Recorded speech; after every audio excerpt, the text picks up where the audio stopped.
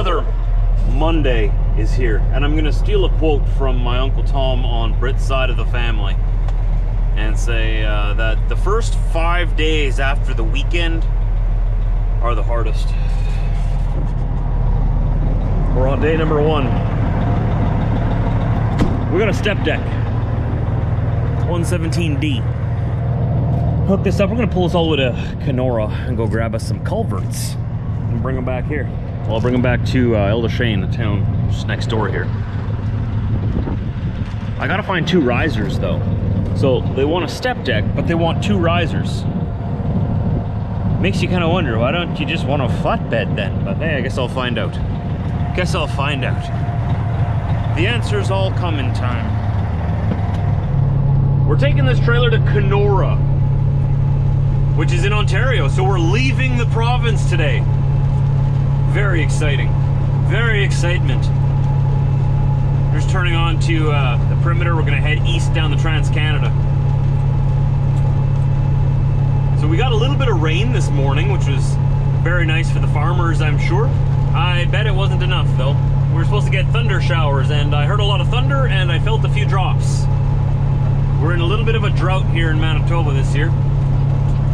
Been really hot and dry. Very good for the motorcycle riders like myself. I've been enjoying the summer quite well. Quite a lot. But the farmers, however, uh, have been struggling, so a little bit of rain would help them out quite a bit. It's supposed to be hot, hot, hot again. And this is July. August is usually our hot month. Corner. This is the pond where the geese and the ducks have been, have been having it out all summer. Let's see who's got control today. The ducks! Go Team Duck! Alright. I guess the Canadian chicken cobras are gonna have to find another pond. Looks like the ducks are holding control of that pond. Good for them, good for them. I know it must have been a hard battle. These chicken cobras can get pretty violent.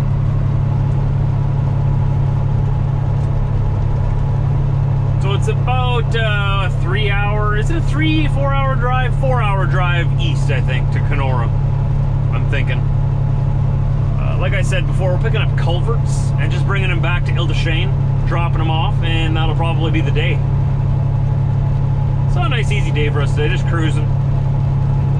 I don't think culverts will be too hard to tie down, as long as they're bundled properly. Kenora is about two and a half hours away.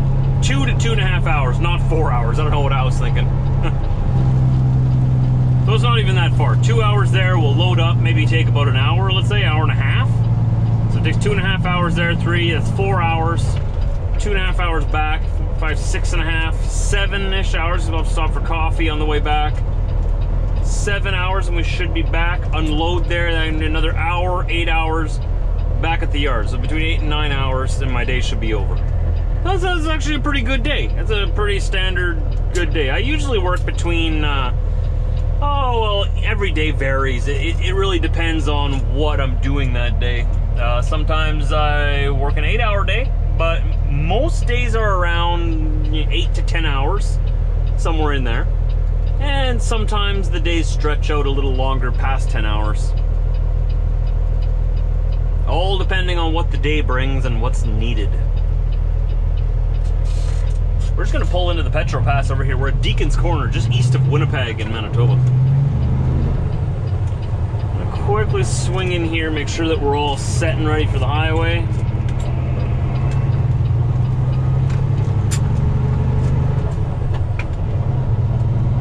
Is a very popular tourist stop. It's the it's right outside of Winnipeg, so most everybody that's either going to Ontario or coming from Ontario usually stops here. Usually. I mean, I'm talking cars. Semi trucks, a lot of them go past here. They stop on the west side of Winnipeg if they're going past. Uh, there's a Flying J truck stop, a Husky truck stop on the west side. I always went around to the west side because they have better coffee there at the Flying J. I love that bean to cup. But since I'm not going to the west side today, I'm going east, we're stopping here. If I can find a gear that wants to agree with me, there we go. There you go. You just got to keep knocking at the door until you find one, right? People ask me if I uh, clutch, double clutch, or float the gears. I float the gears. I'm not to be double clutching all day, man. I'll have like my left leg will be the size of the rocks, you know, and then my right leg will just be will be very disproportionate. No, no, no, no. I float the gears. The, use the clutch as little as possible.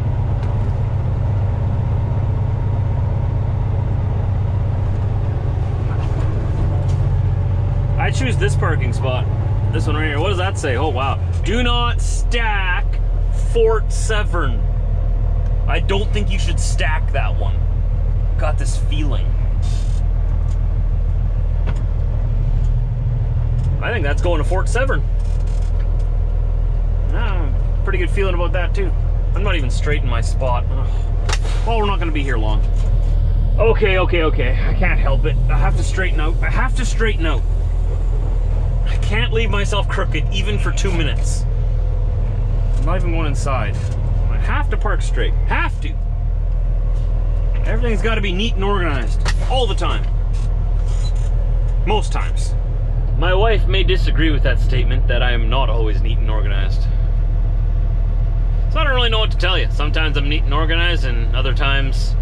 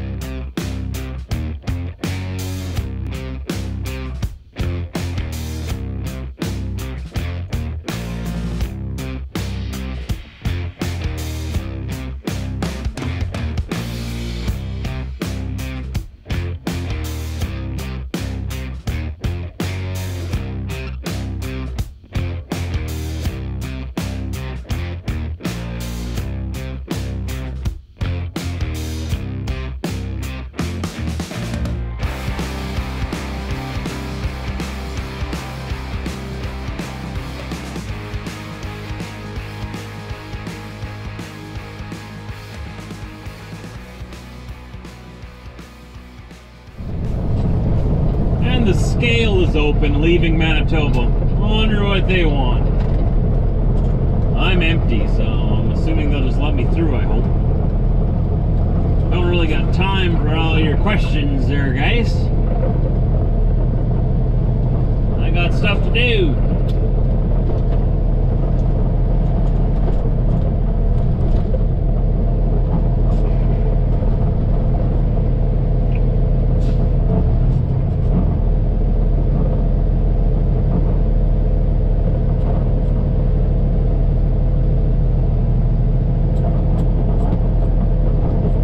See that I'm empty. See what he says. Green light, all right.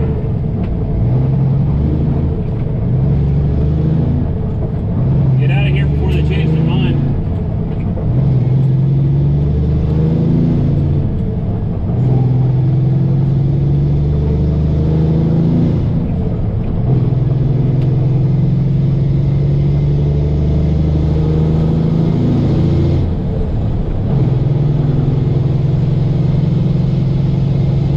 It is really smoky. I can feel it on my in my lungs. You see that haze? Like it's really smoky in here. Must be wildfires burning close by. It was a little smoky in Steinbach uh, and Winnipeg this morning as well. Here's the first Ontario sign. They like to tell you twice. So welcome to Ontario, open for business. Cool. And we go past the little rest area here. I, I believe they've taken down the check stops now between Manitoba and Ontario. So I should be able to just fly right past here. Yeah, look at that. No more check stops. They took them down a little while ago, I think. Man, I, can, I can't even see a mile in front of me. I can really feel it in my throat. That smoke is really making my throat scratchy. Ugh. This is crazy. So here's the welcome center on the right, rest area. And then here's the big official. Welcome to Ontario area forest fire hazard is extreme don't say. You don't say.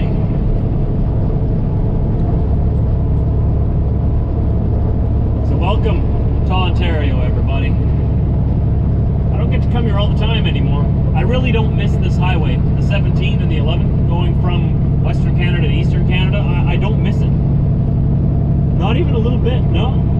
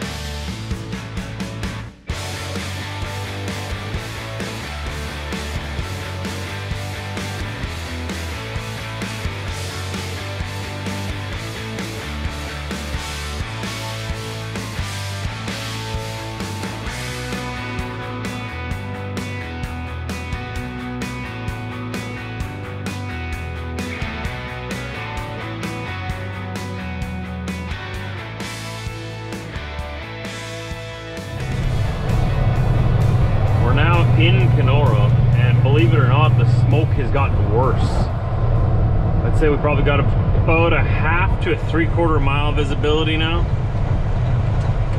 I can't even see what's at the end of the street. I can see that there's some trees or something there, but I can't quite make out what exactly is there yet. Now I'm beginning to see what's there. That's crazy. I wonder where the fires are burning. It's got to be pretty close by. Any of you live in Kenora? Any of you live around here, or any of you under evacuation orders or anything?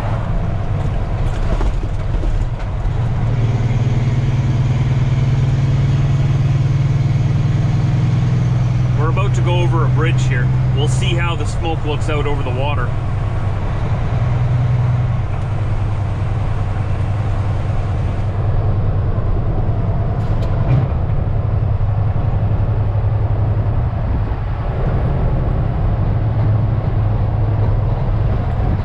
Wow.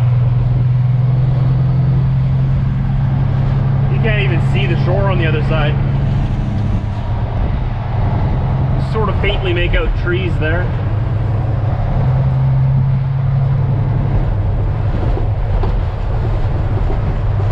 This is not good.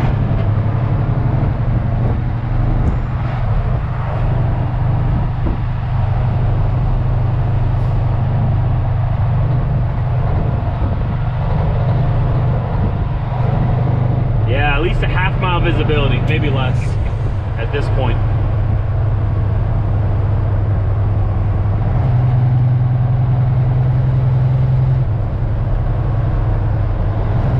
Pretty crazy.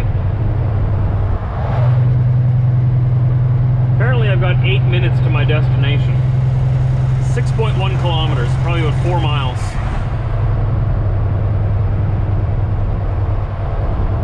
Oh, there goes a jet ski.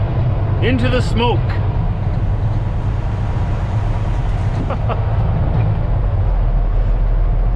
I'd love to have one of those. Or just ride one. I don't necessarily have to have it.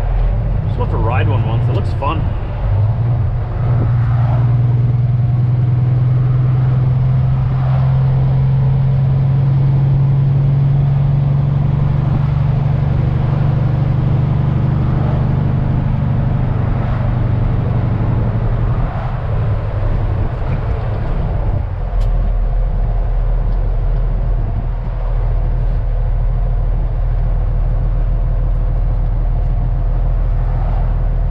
I hope it clears up soon. It can't be good for people's health who live here in all this, having such thick smoke all day. I'm glad I get to go home. It, it is smoky at home too, but not nearly this smoky. Got a rail museum here.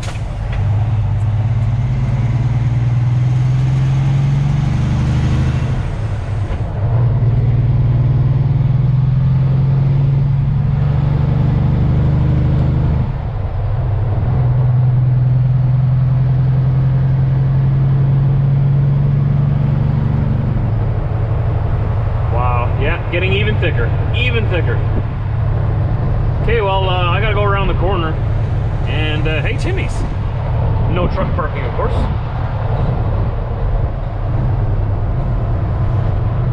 Yikes.